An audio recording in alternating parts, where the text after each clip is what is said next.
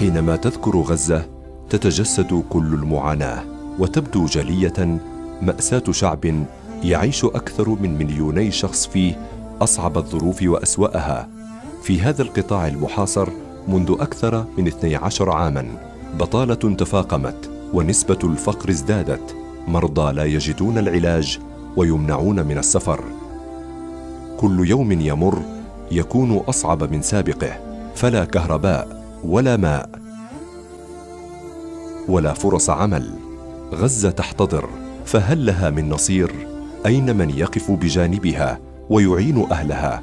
أمل بحياة أفضل أصبح بعيداً.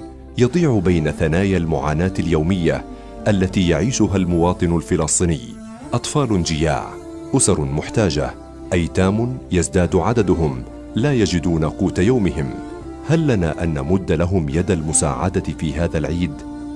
معا لنرسم البسمة على وجوههم ونقدم لهم لحوم الأضاحي في هذه الأيام المباركة كونوا عونا لهم ومصدرا لسعادتهم ولكم خير الجزاء من رب العباد